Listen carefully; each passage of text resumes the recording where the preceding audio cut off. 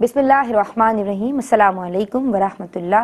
जनाब, आज दीन और ख़वातीन में बात की जा रही है खाने के आदाब के ताल्लुक से, गज़ा के ताल्लुक से, हमें क्या एहतियातें मलहूज़ रखनी चाहिए? और वो ऐसी एहतियातें हैं कि जिन पे शरीयत मुताहरा, मुकम्मल अहकाम देती है क्योंकि हमारे प्यारे नबी इमामबिया सैदुलम्बिया सैदना अहमद मुशतबा, मोहम्मद मुस्तफ़ा सल्लल्लाहु अलैहि वसल्लम जो दीन लाए हैं, दीन इस्लाम, ये मुकम्मल और जामे है। और ज़िंदगी के किसी भी शोबे में, अल्हम्दुलिल्लाह, हमें लावारिस नहीं छोड़ता। मुझे ये बताइए कि जो बीमार हजरात हैं, आलिमा सदफ़ रईस हम आपकी समता रही हैं शुगर के पेशेंट हैं फॉर एग्ज़ाम्पल और डॉक्टर ने सख्ती से उन्हें मीठा खाने से मना भी किया है, लेकिन दिल तो चाहता है। अब क्या करें, दिल भी तो एक बच्चा ही है। तो अब अगर थोड़ा सा मीठा खा लेते हैं तो क्या ये उनके लिए नाजायज़ होगा? आउज़बिल्लिमिनशैतरजीम बसमीम देखिए शरीयत मुताहरा का मिजाज ये है कि जो भी अहकाम शर्या हैं उन तमाम के पीछे अगर हमत देखें तो पाँच चीज़ों की हिफाजत का हुक्म दिया है जिन्हें मकासद पंजगाना कहा जाता है दीन जान अकल नसब और माल। हम्म। इन पाँच चीज़ों की हिफाजत करने का शरीयत मुताहरा ने हमें हुक्म दिया। ठीक। और वो आयत मुबारक जैसा कि अभी बयान फरमाया गया कि अल्लाह ताला ने शाद फरमाया वला तुल्कूबी ईदीकुम इलताहलुका हम्म। कि अपने आप को खुद हलाकत में मुबतला ना करो। इस बात की तरफ़ इशारा करती है कि हमें अपनी सेहत की भी हिफाजत करनी चाहिए और ये इन पाँचों चीज़ों की दीन की जान की अक्ल नसब और माल की हिफाजत करनी चाहिए। ठीक। और ये इसका मतलब ये नहीं है कि हम अपनी हेल्थ की अगर परवाह कर रहे हैं तो कोई हम अपने सेल्फ सेंटर्ड हो। गए। बल्कि ये मिनजान बिल्ला हमारा हुक्म है। अल्लाह ताला की तरफ़ से हमें हुक्म दिया गया है। हम्म। जहाँ तक बात आपने की शुगर पेशेंट्स की तो उसमें शुगर पेशेंट के लिए भी दो सूरतें हैं। एक तो ये है कि डॉक्टर ने एहतियातन मना किया।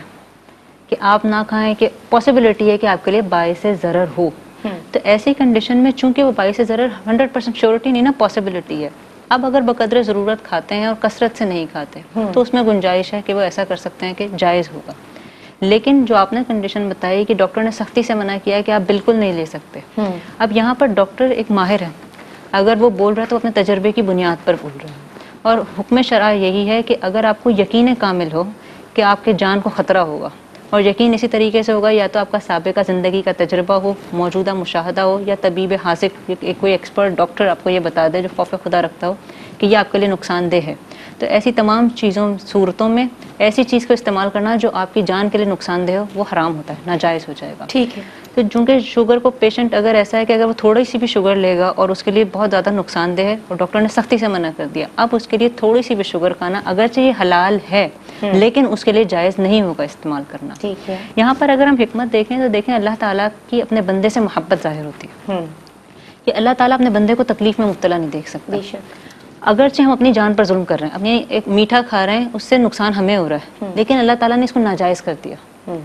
ये उसकी अपने बंदे से मोहब्बत है कि वो अपने बंदे को तकलीफ़ में मुबतला होते हुए नहीं देख नहीं सकता। देख सकता इसके बावजूद हम देखते हैं कि अल्लाह ताला ने जहन्नम का अजाब तैयार किया और उसमें लोग जाएँगे जी यहाँ पर आप देखें अब आप भी मदर हैं आपने देखा होगा कभी कभी बच्चों को ना आप जजरन उनको पनिशमेंट देनी पड़ती है। हम्म, ज़रूरी लेकिन हाँ वो ज़रूरी होती है। लेकिन जब एक वालदेन स्पेशली वालदा अगर अपने बच्चों को सख्ती से किसी चीज़ पर रोके कोई सख्त एक्शन ले ले हम्म।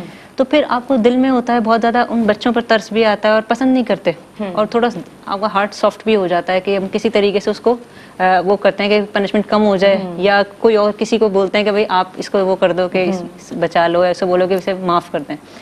किसी भी तरीके से हम अपने बच्चे को बचाते हैं। ये बिला तमसीर अल्लाह ताला इंसानों से सत्तर माओ से ज़्यादा मोहब्बत फरमाता है। इसे समझाने के लिए अर्ज़ किया इसकी तो कोई मिसाल ही नहीं है। तो वो रब कैसे चाहेगा कि उसका बंदा आग में जाए? अब हम अपने ऊपर गौर करें अल्लाह ताला ने शायद फरमाया वमा असाबकुम में मुसीबत वो जो जो भी मुसीबत हम तक तुम तक पहुँचती है तुम्हारे अपने हाथों की वजह से पहुँच रही होती है। हम्म। जो तुम्हारे हाथों ने कमाया और बहुत कुछ तो अल्लाह ताला माफ़ फरमा देता है वह याफ़ान कसीर। ये बहुत कुछ माफ़ फरमा देता है। तो अल्लाह ताला इतना कुछ माफ़ फरमाता है इसके बावजूद अजाब में अगर हम जा रहे हैं तो किस वजह से जा रहे हैं? अपने अमल की वजह से। हम्म। तो हमें अपने ऊपर गौर करना चाहिए कि हमारा रब नहीं चाहता हम अजाब में मुबतला हों। हम्म। अब कोई शख्स आग के अंदर हाथ डाल के बोले कि मेरा हाथ जल गया हम्म। तो हम यही कहेंगे ना कि ये बेवकूफ़ी है कि आग का तो काम ही जलाना है। ठीक। आप खुद ऐसा अमल कर रहे हो ना कि आप उसमें हलाकत में मुबतला हो या ज़रा आपको पहुँचे। तो हम ऐसे अमाल खुद करते हैं कि अल्लाह ताला हमें अजाब दे।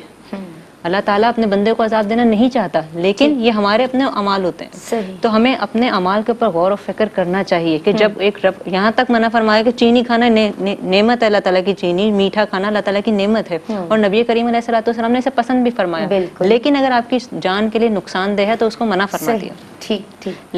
जी जी अपनी बात मुकम्मल की लिहाजा हमें अपने जायज़ मामला में भी एहतियात करनी चाहिए और अपने आखरत के हवाले से भी सोचना चाहिए कि ऐसे मामला में खुद को गिरफ़्तार ना करें कि जो बरोज़ माशर हम अजाब में मुबतला हों।